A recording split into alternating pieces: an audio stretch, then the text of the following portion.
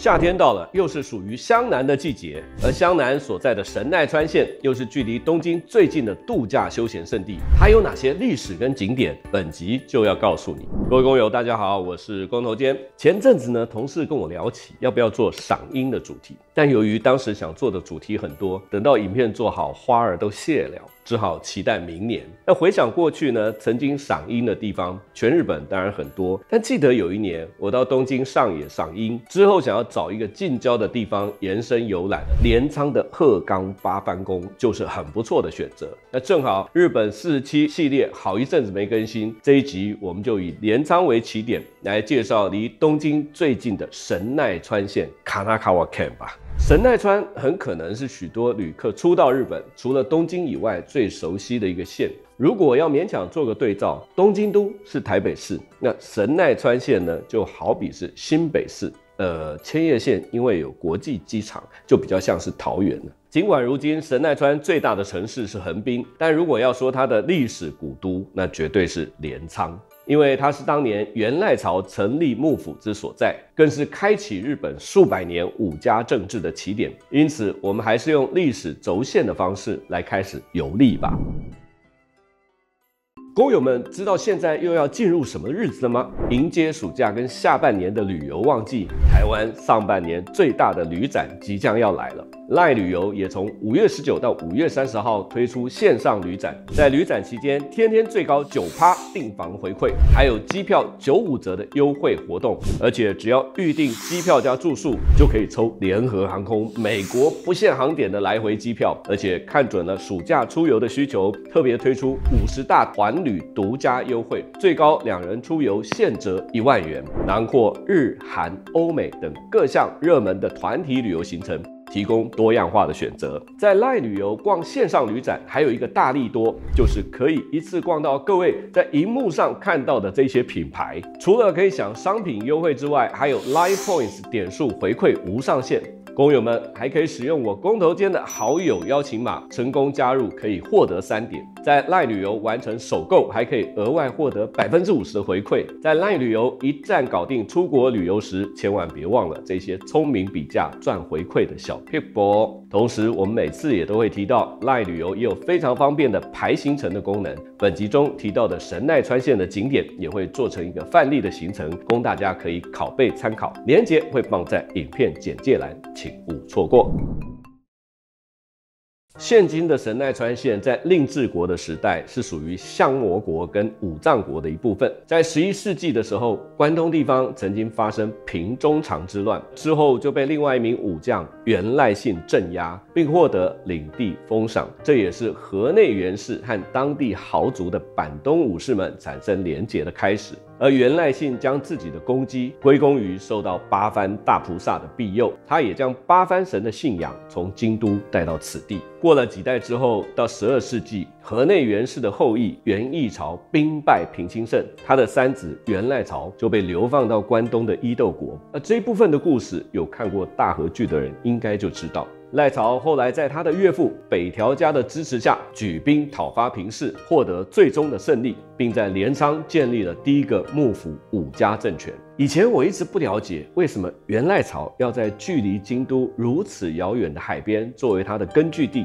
后来才明白，除了这是他先祖的封地以外，在竹村公太郎先生的著作《日本都市诞生之谜》的书中，再度以他擅长的历史地形学做分析，说十四岁到三十四岁之间居住在伊豆这一带的源赖朝，可以说是典型的湘南 boy，海滩南海，享受着山珍海味，跟附近的豪族喝酒往来，泡温泉。谈恋爱，想必是厌恶当时京都的卫生条件和环境。再者，镰仓背山面海，有着铜墙铁壁般的防御机能，的确也是适合的建都之地。但缺点就是它的腹地太小、偏远，而且封闭，那也就限制了它的发展。因此，在镰仓幕府结束之后，历史舞台还是回到了关西一带，留下这一座曾经的古都，成为关东近郊的旅游胜地。如果从空中鸟瞰镰仓，会发现它的中心便是鹤冈八幡宫，而门前的参道全长两公里，直直通向海边的有比之滨。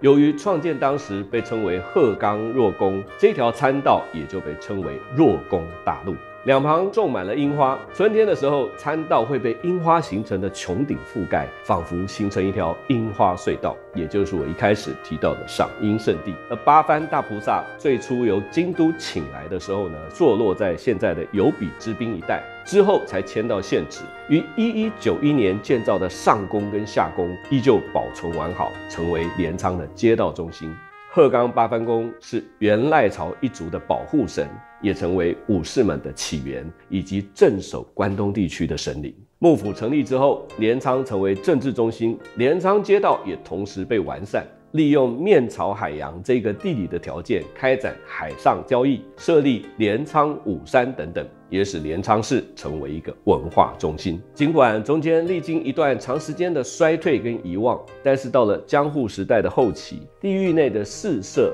便有越来越多的参拜者到访。明治中期以后，则是被作为静养所或者是别墅的建立地点。到了昭和时代，更以观光地区为城市发展目标。除了像我这种历史宅热爱的大和剧之外，还有很喜欢的现代日剧《倒数第二次恋爱》，以此为背景。而近年又有描写家族情感的《海街日记》，以及奇幻作品《镰仓物语》，相信许多人也都非常热爱镰仓这座城市吧。那前面我们提到庇护源赖朝的北条氏是大和剧《镰仓殿的十三人》之主角，其实，在神奈川县境内还有另一座历史名城，则是属于跟前者没有血缘关系的后北条氏，那就是战国时代一度被认为南宫不落之城的小田园城。小田园市由于处于要前往度假胜地箱根的路上，记得以前也有许多的行程都会在那边停留，想必也有不少人前往游览过。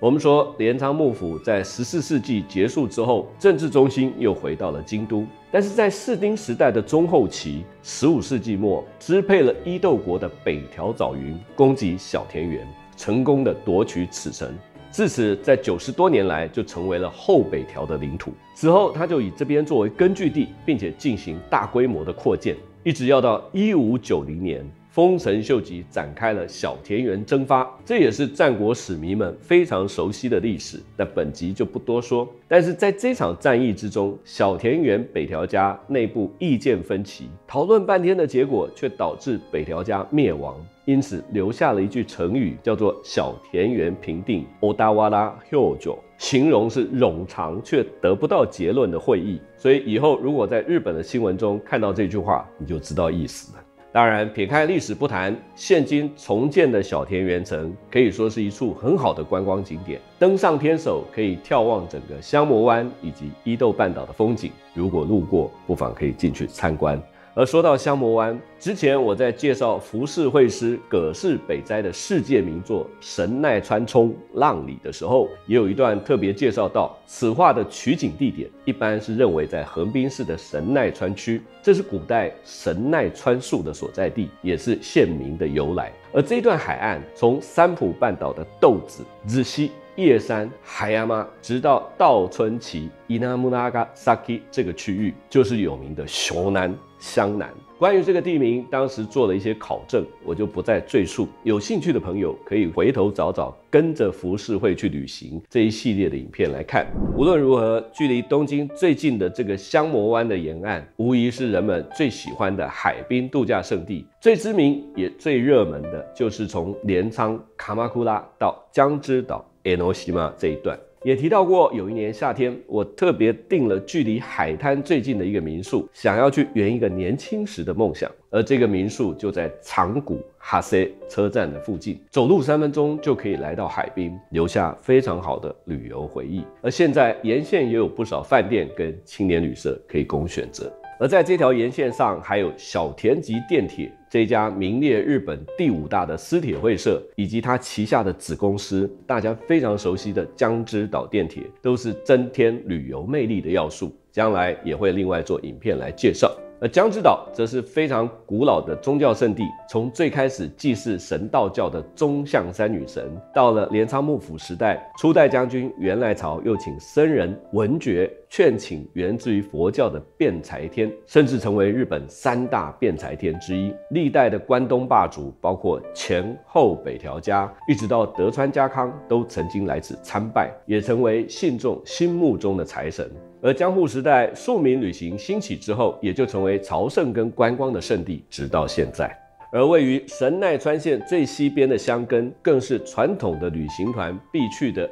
游湖、赏富士山以及泡温泉的景点。在芦之湖，旅客们可以搭乘海盗船游湖，而湖畔有箱根神社。由于箱根这个地区其实也是一座火山口，自古以来流传的山岳信仰，就成为关东的镇护神。湖边的红色鸟居，则是在二战之后签订和平条约的时候才建立的平和之鸟居，也成为旅客喜爱的拍照打卡地点。同时，箱根更是许多特色博物馆和美术馆的所在地，例如成名已久的雕刻之声美术馆、玻璃之声美术馆。还有以印象派艺术作品为主的 Pola 美术馆等等，再加上强罗花坛温泉旅馆等等，可以说是早期的高端艺术之旅的热门路线。而许多年前，我曾经带团去香根小王子博物馆，是以法国作家圣修伯里创作的不朽名作为主题，印象非常的深刻。可惜因为受到疫情影响，已经在今年三月永久闭馆，不知道未来是不是还有机会重开呢？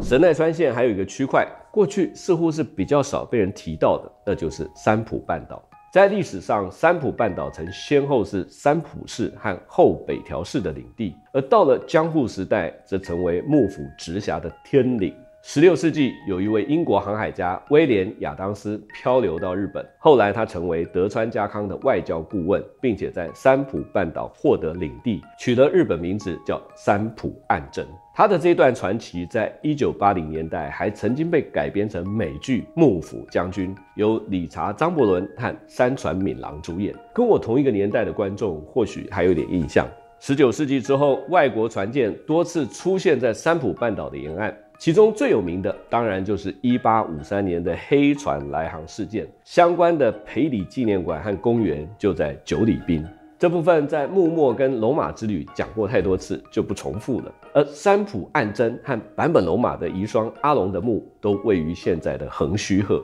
日本政府意识到三浦半岛在国防上的重要地位。从明治时期开始就设立了横须贺镇守府，令此地成为日本海军的一大据点。而在太平洋战争之后，又设有美军跟自卫队的基地。继续维持了重要的军事地位。少年时期的我曾在这边亲眼见过中途岛号航空母舰，而现在如果去横须贺游览，除了可以参观日俄海战的旗舰三利号的博物馆，搭乘小船游览军港，也有机会可以见到海上自卫队的各级舰艇。对于喜欢历史跟军事的朋友，也是值得推荐的游程。至于三浦半岛的西岸，前面提到的豆子。叶山高级住宅林立，也说过几年前我曾经受一个旅宿品牌 Staycation 的邀请，去体验他们在当地的独栋别墅。和氏旅宿 Nowhere But Hayama 就位于天皇的度假别墅叶山御用地的隔壁，还可以在私人的海滩散步。至于西式别墅左岛 Nowhere But Sajima。天气好的时候，更可以眺望海的对岸绝美壮丽的富士山。OK，最后我们要讲到横滨市 Yokohama 西，它是神奈川县县厅所在，聚集神奈川县超过百分之四十的人口，更是次于东京都的日本第二大都市。横滨的六浦凑早在镰仓幕府的时代就是海上门户，但它真正获得发展还是要到江户时代的末期。神奈川在美日修好通商条约中被定为开港地，而横滨港在一八五九年七月开港之后，迅速就作为生丝贸易港、商业港、客运港还有工业港得到发展，在短时间内就具有了国际港的规模。并有金港之称，也让横滨发展为日本具代表性的港都。如今，我们如果沿着东京湾从大田、川崎一路到横滨，连成不间断的港湾工业跟住宅区，非常的繁荣。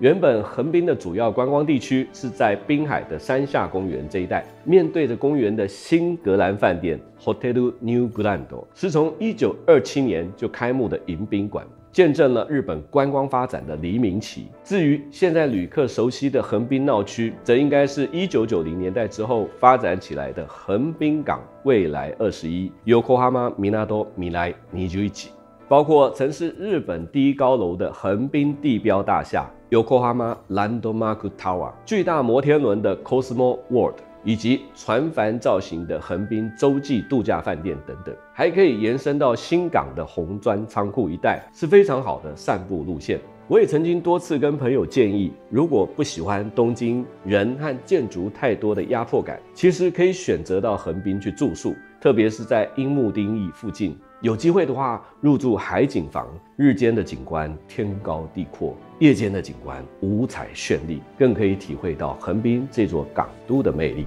最后，我想跟大家分享一点私人的感受。本集一开始就有提到神奈川县可以跟新北市来做一个对照，而我本身是新北市民，又关注旅游的发展，所以就曾经提出一个新北神奈川的发展构想。那我查资料的时候也发现，新北市的确也跟神奈川县做过一些交流，但是似乎仅限于教育跟防灾等等的领域。如果能够在观光跟文化的层面能有更多的互动，是否就可促进两地的互相了解跟认识？不知道各位是否也认同这样的想法呢？好的，以上就是本集的内容，记得按赞、订阅、开启小铃铛，锁定更多工头间观点的时事跟旅游话题。我们下次见。